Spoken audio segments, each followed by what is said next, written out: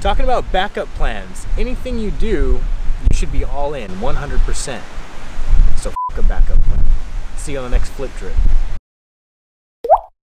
When it comes to certain things in life, it's a good idea to have a contingency plan. Have alternatives just in case everything doesn't go as planned. So for example, with real estate, here's what I do. First and foremost, when I'm buying a flip, the numbers have to make sense for a fix and flip deal. But the second thing I look at is, in the event that I renovate this property and for whatever reason I'm not able to sell it, can I rent this property out?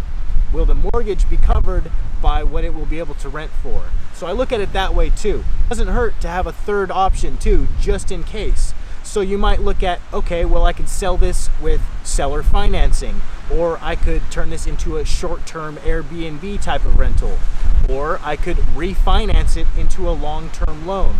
You wanna have alternate exit routes, alternate exit strategies when it comes to real estate that helps reduce your risk, thereby increasing the odds that you come out profitable and successful. I'll see you on the next flip trip.